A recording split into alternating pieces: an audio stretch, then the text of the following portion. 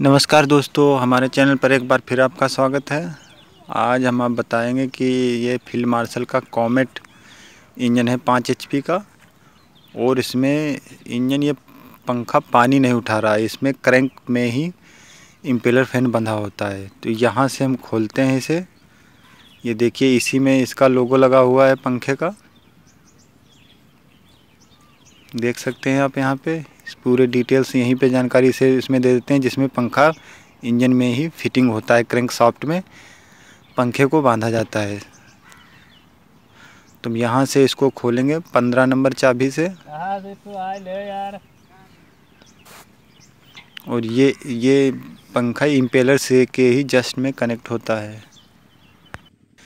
ये यहाँ से इसे खोलेंगे इसमें उल्टा को चूड़ी होती है उल्टा साइड को इसका बोल्ट ओपन होता है। तो पहले तो हम इसका इस, ये फ़ैन कवर खोलेंगे और इसे हम शुद्ध भाषा में सेंट्रीफ्यूगल इसको पंप बोलते हैं।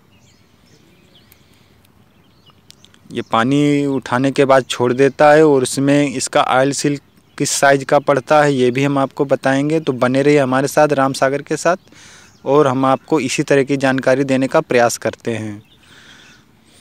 तो इसे हम पंद्रह नंबर की चाबी से इसे पहले खोलेंगे जो कवर लगा हुआ है पहले। उसके बाद में हम आपको जानकारी आगे की देते हैं कैसे आपको खोलना है, ताकि आप घर पे ही इस पंखे को रिपेयर कर सकें, क्योंकि इस टाइप के पंखे बहुत कम हैं। फ़ील्ड मार्शल में ही ज़्यादा इस टाइप के दे रहे हैं।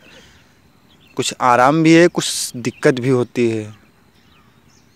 तो मैंने बोल्ट सारे खोल लिए हैं और इसे हम इस कवर को खोलते हैं। फिर बाहर आपको जानकारी देते हैं क्या इसमें अंदर किस नंबर की आयल सील लगी होती है किस टाइप की लगी होती है क्योंकि इसमें आयल सील एक दूसरे मॉडल की आती है तो हम आपको दिखाएँगे कैसे मॉडल की लगती, लगेगी। तो हम इसे इम्पेलर को भी खोलेंगे। इम्पेलर बोलते हैं, कभी कहीं वाटर फ़ैन ये होता है। इसमें 21 नंबर की चाबी से इसका जो पंखे का ये बोल्ट है ये पैकिंग लगी हुई है यहाँ पे। यहाँ पे भी लीकेज नहीं आपका होना चाहिए, आप ध्यान से देख लीजिए। और इसको हम इक्कीस नंबर की चाबी से खोलेंगे। फिर हम आपको आगे दिखाएँगे आयल सील किस मॉडल का है, क्योंकि इस टाइप की आयल सील बहुत कम मार्केट में उपलब्ध हैं। हो सकता है आपको एजेंसी पे ही ले जाना पड़े, क्योंकि मार्केट में बहुत कम इस टाइप का उपलब्ध है। तो मैंने बोल्ट को इसे मैं ढीला करता हूँ पहले। कि मैंने इसे ढीला कर लिया है, उसके बाद में मैंने थोड़ा टाइट खुला था। ये आपका इक्कीस नंबर की चाबी से आपका ये बोल्ट खुल जाएगा। तो इसे आराम से इसे बोल्ट को खोल लीजिए।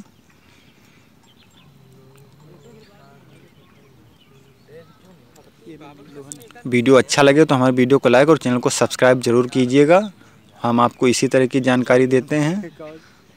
अब हम इस इम्पेलर को थोड़ा दिक्कत होती है निकालने में।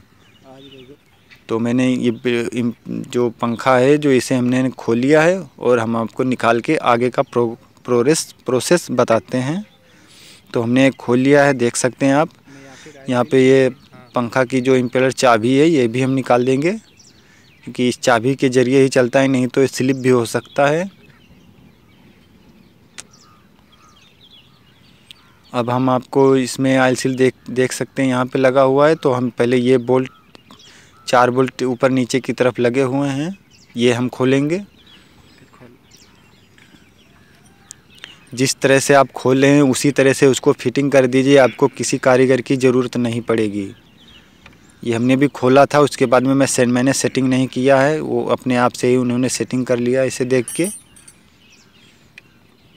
यहाँ पे ये भी पंद्रह नंबर चाबी से ही बोल्ट आपके खुलेंगे।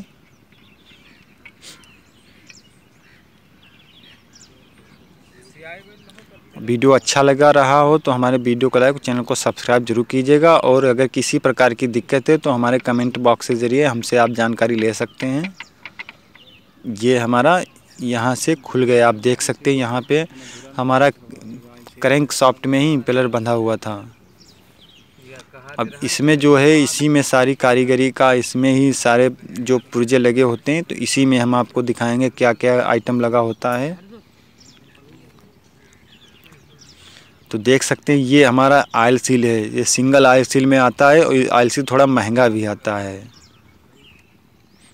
देख सकते हैं, इसमें दूसरे मॉडल की है एक दूसरे मॉडल में आयल सील आती है, उसमें रबड़ होती है, आयल सील का हम नंबर भी साथ में दे रहे हैं, अगर आपको कोई दिक्कत हो रही है तो आयल सील नंबर और इसका रेट भी प्राइस दिया है, ये फ़ील्ड मार्शल की कंपनी का ही आयल सील है। और मार्केट में, अदर मार्केट में बहुत कम मिलने के चांसेस हैं। तो मैंने आपके लिए स्लिप भी छोड़ दी फ़ोटो। मैंने दे रखी, इसमें आपका नंबर और प्राइस। ये आपका लगा ये पुराना रेट है इसका फेबरी का, फेबरी 2019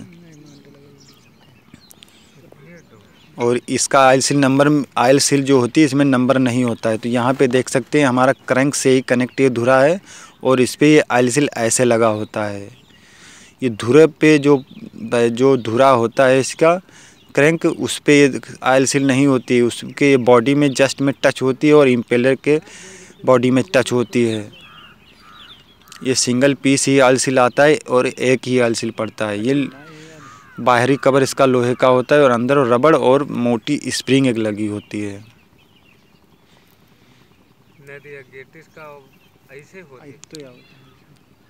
आपको इसी नंबर की सील लेना है और हो सकता है आपको ये फ़ील्ड मार्शल की एजेंसी पे ही आपको मिल पाए। अदर दुकानों पे आपको ये प्राप्त नहीं हो पाएगी क्योंकि हम भी यहाँ परेशान हो चुके हैं। दो तीन चार दुकानों को जाके उसके बाद में हमें एजेंसी से ही प्राप्त हुई थी जहाँ से मैंने इंजन खरीदवाया था उससे। ये इसमें मोटा स्प्रिंग होता है तो ऐसे आप देख सकते हैं इसका ऐसा प्रेशर देखा जाता है। हालाँकि ये 50 परसेंट ही ख़राब है पूरा ख़राब होता तो पानी उठाता ही नहीं। पानी उठाने के बाद कुछ समय बाद छोड़ देता था। तो और इसके नीचे एक ये जो ब्लैक वाला देख रहे हैं ये इसमें बॉडी में ही लगा होता है। ये रेड वाला और ये स्टील वाला ये दो पीस आपको मिलेंगे और ये रबड़ वाला इस ये इसी में ही बॉडी में सटा सट लगा होता है।